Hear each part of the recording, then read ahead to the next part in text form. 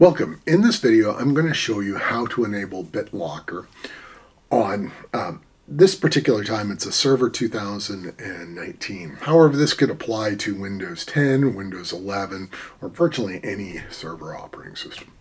Let's get started.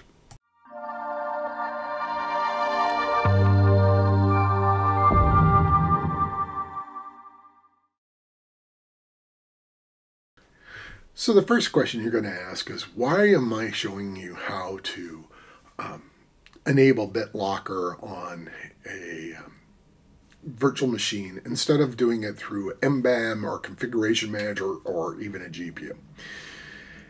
And this is a bit of a loaded question. The reality is you should be doing it with any of those options other than doing it manually.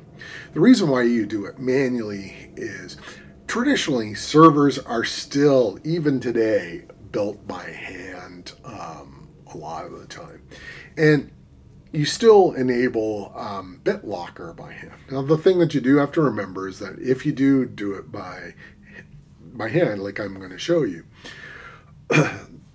it doesn't use the um, the, the, the best security from that. And that's one thing you do have to remember. And this is where it makes sense for you to apply um, the MBAM policy either through MBAM or through Configuration Manager or the GPO settings such that you get the um, higher level of security on, on your box.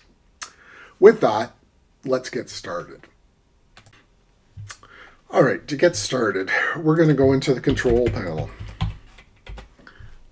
And in the um, control panel, we're going to go to System and Security, and we can see BitLocker encryption here. We're going to open, and notice that it's turned off by default. We're going to turn it on.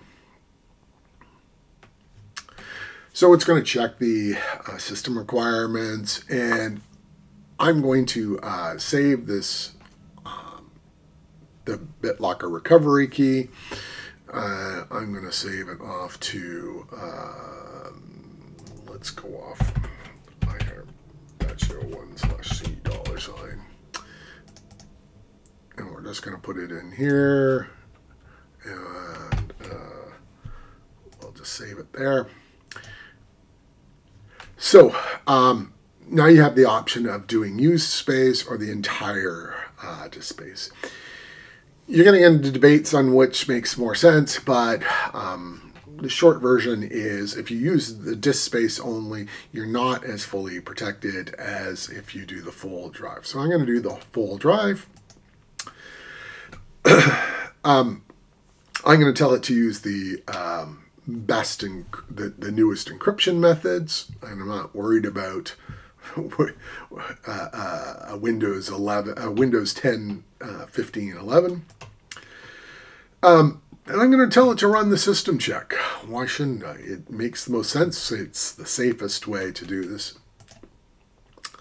So this is going to um, run here for a minute. So we've got the notification. I'm going to bring it up. It's going to say, do I want to restart now? I'm going to say yes. Restart. Okay, restart later. Then I'm going to restart this VM. Oh, and now it's disconnected us.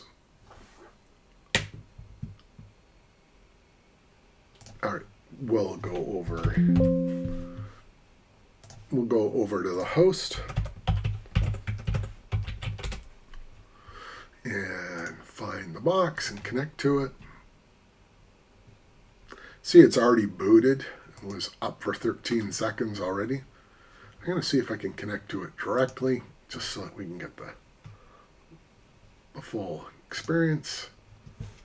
There we go.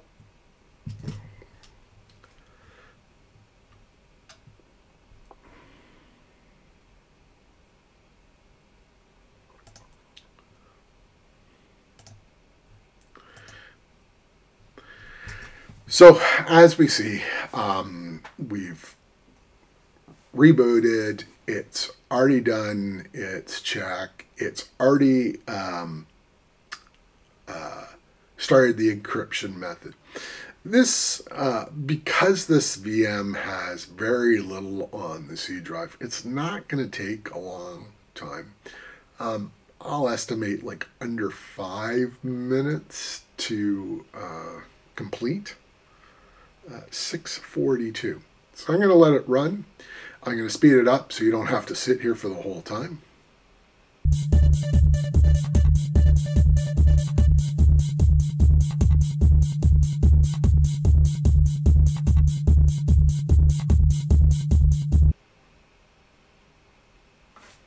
All right, and I'm back. So 642, it was about two minutes actually to run the whole thing.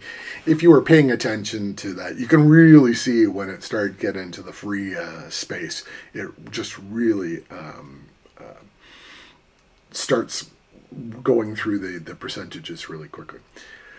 So I go close, and technically that's it. There's nothing more um, I need to do. Right now, my drive is encrypted. I can go back to uh, control panel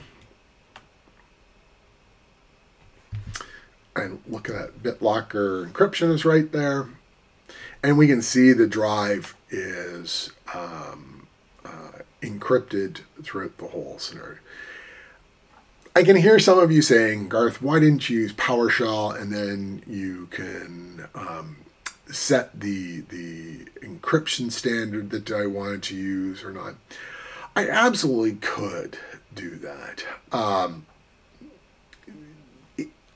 to be honest, a lot of times what I find is is that most people are air quote lazy. They want to get it done and get it done quickly. So this is just a quick way to get it done.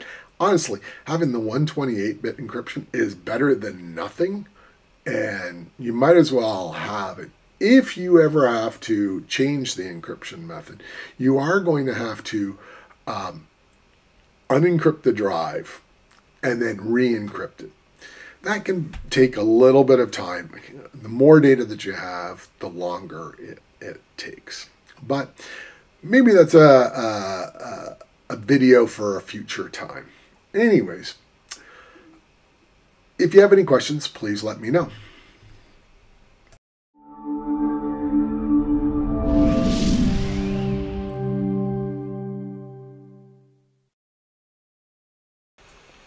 I want to thank you for watching this video and I want to remind you to subscribe to this YouTube channel and off to the Ask Garth newsletter. This way you can um, stay on top of the latest content as it becomes available.